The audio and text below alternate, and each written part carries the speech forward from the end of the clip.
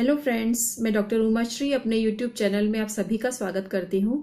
आज मैं आपसे बात कर रही हूँ शुक्र ग्रह के बारे में। शुक्र ग्रह वृष राशि और तुला राशि का स्वामी है।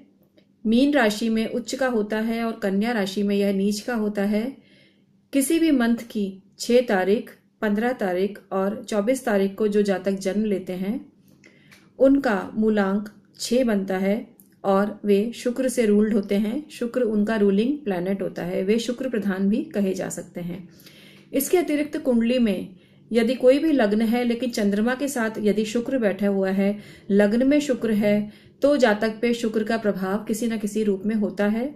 हथेली में यदि, हथेली बहुत अच्छी है पिंक कलर है, हथेली का खुरदरी भी नहीं है और एक एवरेज सॉफ्टनेस है हाथ के अंदर और शुक्र का माउंट अच्छा उठा हुआ है, बहुत ज़्यादा नहीं, लेकिन एक एवरेज उठा हुआ है तो वो व्यक्ति भी शुक्र प्रधान माना गया है।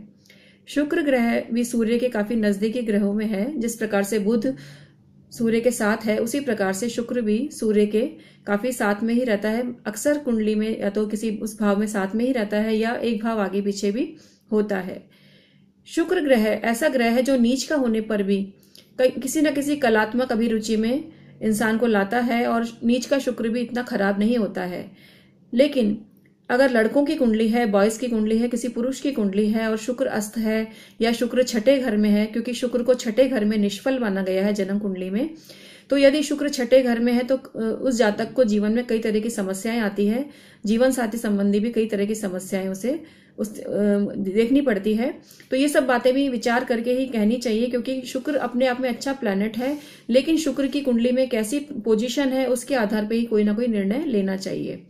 शुक्र ग्रह को जीवन का सुख कहा गया है। व्यक्ति जीवन में कितने सुखों को भोगेगा, इसका निर्णय शुक्र से किया जाता है। चौथे घर में यह वाहन का कारक है, और सप्तम भाव का भी ये कारक है, जैसे जो कि स्पाउस का कारक होता है। तो सप्तम भाव में स्पेशली पुरुषों की जो कुंडली होती है, उसमें यह पत्नी का कारक है। तो शुक्र ग्रह कुंडली में कहीं ना कहीं स्ट्रांग होना चाहिए और शुक्र ग्रह से अनेक योग भी बनते हैं। शुक्र ग्रह यदि चंद्रमा के साथ में हो या स्वग्रह ही हो कहीं ना कहीं तो बहुत ही अच्छा योग बनता है, मालव्य या नामक योग बनता है और उसके द्वारा जातक को जीवन में बहुत सी सफलताएँ मिलती हैं, बहुत अथाह धन संपदा का वह मालिक होता है। शुक्र ग्रह वाले जिससे संबंधित जो लोग होते हैं, शुक्र प्रधान जो लोग होते हैं, प्राय सलीके वाले होते हैं, बहुत ही रोमांटिक स्वभाव के होते हैं और मित्रों के साथ समय व्यतीत करना, बातचीत करना उन्हें काफ़ी अच्छा लगता है और काफ़ी खुश मिजाज होते हैं। घर को डेकोरेट करना, स्वयं भी सज धज के रहना उनकी आदत होती है। मूवीज़ देखना, लोगों के साथ घूमना फिरना उन्हें पसंद होता है। लेकिन घर में जैसे बेडशीट वगैरह हुई, उन्हें बिल्कुल साफ़ सुथरी पसंद होती है।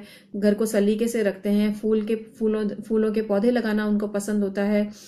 इसके अतिरिक्त, वे अपने जीवन साथी से भी बहुत अच्छा व्यवहार करते हैं, उसकी बहुत केयर करने वाले होते हैं।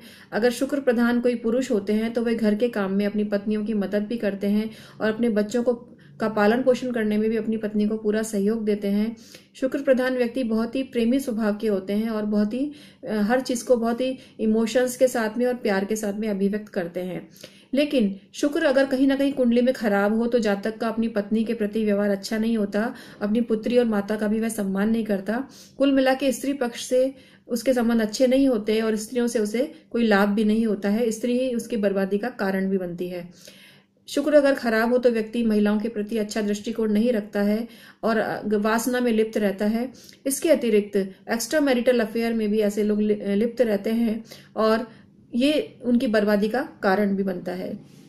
तो शुक्र ग्रह के दोनों ही रूप होते हैं। वो हर ग्रह के दोनों रूप होते हैं। हर ग्रह अच्छा भी होता है और बुरा भी होता है। तो शुक्र की यहाँ पर हम बेसिकली बात कर रहे हैं शुक्र का जो माउंट होता है तेली के अंदर, यदि उसमें कोई तिल वगैरह हो और उसके अंदर अगर कोई कोई जाल वगैरह बना हो या आड़ी रेखाएँ बनी हो तो खराब शुक्र को पहचाना जा सकता है। और ऐसे जातक को जीवन साथी से संबंधित या संतानोत्पत्ति से संबंधित कई तरह की समस्याएँ आती है। उनको जेनेटिक्स जो ऑर्गन्स वगैरह हैं, उनमें भी कोई ना कोई प्रॉब्लम होती है। इसके अलावा उनको रोग वगैरह भी होते हैं। शुक्राणु से संबंधित भी रोग उनको होते हैं। तो इस चीज़ की भी पूरी जानकारी हस्तरेखा को देखकर की जा सकती है।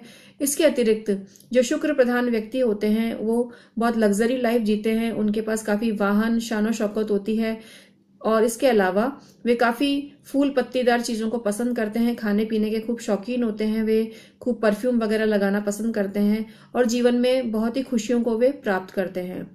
शुक्र प्रधान जो लड़कियाँ होती हैं, जैसे, या लड़के होते हैं, काफ़ी खुले विचारों के होते हैं। इस कारण इनका कई बार चरित्र भी संदेह के घेरे में आ जाता है।